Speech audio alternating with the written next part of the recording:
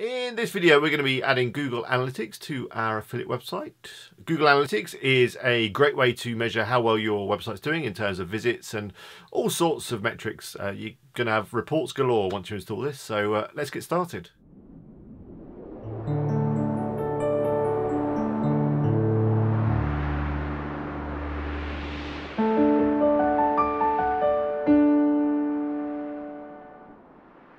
Hello, it's Alex here from WP Eagle. Thanks for watching.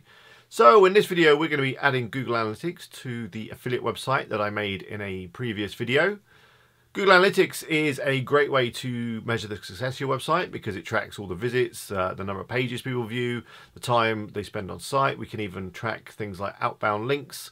So we can really see what's going on and you can uh, work out whether your you know marketing efforts and all that sort of stuff um, are working well. The great thing about Google Analytics is that we can see exactly where visitors are coming from. So, uh, you know, did that Facebook post generate any traffic, that tweet, uh, whatever, Pinterest, whatever marketing you're doing, it's a really great way of, of seeing what's working and what's not. And then obviously once you know that, you can start to focus your efforts on what's bringing in the traffic. This is a really quick video. We're just going to be installing a plugin and setting up a Google Analytics account. Uh, if you've already got one, then you're already halfway there. So uh, that's enough chit chat from me. Let's get on the computer and get started. Okay, so I'm over at bestwpthemes.info, which is the site that I made in the uh, original tutorial video on how to make an affiliate marketing website. So I'm already logged in, and what we're going to do is, um, first of all, we're going to install a plugin. So back into the dashboard, and then go to plugins and add new. The plugin we're going to be using is called Google Analyticator. So just type that into the search box. Here it is. I'm going to click install now and then click activate. So that's ready to go. The next thing we need to do is I'm just going to open a new tab is head over to Google Analytics. I'm just going to type Google Analytics into my search bar and it's going to be the first one that comes up and then you need to sign in with your uh, Google account. Uh, Google Analytics is what we want, none of these other premium things, whatever they are. Okay, now I've got a lot of profiles in, um, as you can see, in my um, analytics. You probably won't have so many, but it'll, it'll look the same. But what I actually need to do is create a new one, obviously, for this website. So to do that, I'm going to click on Admin. And in here, you've got a few different options. So you need to um, if you've got a multiple, you can either create a new account um, or you can create a new profile. So just to be clear, so an account can have multiple profiles, if that makes sense. You're probably going to just, um, when I say profile, actually I mean the word property.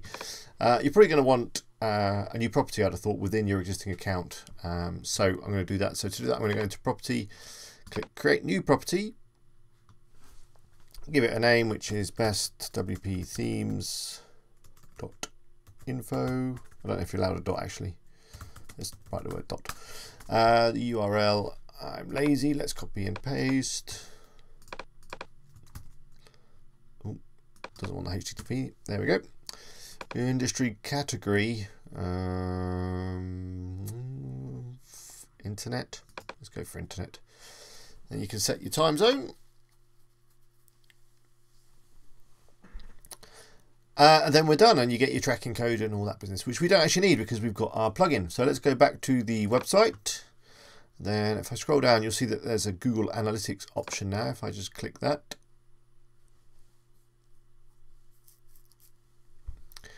Um, and then we need to click here where it says click here. And then you need to allow. And you need to get that bit of code, whatever it is, and copy and paste that in here. Click Save and Continue. Give it a few seconds just to connect. Okay, we're connected. So now what I'm going to do is I'm going to enable uh, logging. I'm going to select the correct site out of all my millions of sites. Um, be under B, I guess. There it is. That's fine. It's the universal code. That's good. You can decide whether you want to track all users. Um, generally, you don't want to track the admin users. Otherwise, you'll just be tracking yourself and it will skew um, your figures. You've got remarketing there if you want to turn that on, which is good if you're running any advert campaigns. This is quite important, the outbound uh, link tracking. So in your report, you'll be able to see if people are clicking your affiliate links, uh, that sort of thing. Everything else you can pretty much uh, just keep as it is. Um, enable the dashboard widget, that's all good. Let's click Save Changes. And we're all done. So now you've got tracking enabled. Um, your website will start to obviously measure how many people come. You get a nice little widget down here on your WordPress dashboard. Obviously, hasn't got anything to show right now. But what you can do if you want to test um, that it's all working, if you go back into analytics, go to reporting, and there's this real-time report here. If you go to overview, the moment it says there's no one on the site, that's because I'm logged in. But if I log out of the site, so it doesn't track me anymore, or it does track me, so we set it to not track administrators. So if I log out, I'm going to have a look at the website, and then if I go to this here,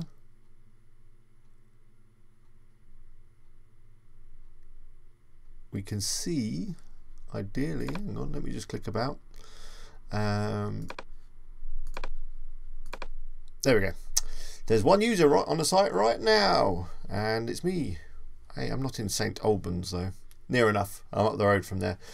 So that's all working. I hope you found this video useful. Uh, obviously, it's going to be essential to keep an eye on your analytics to see how well your website is performing and all that business. If you've got any questions, uh, please leave them in the comments below and I'll do my best to answer them.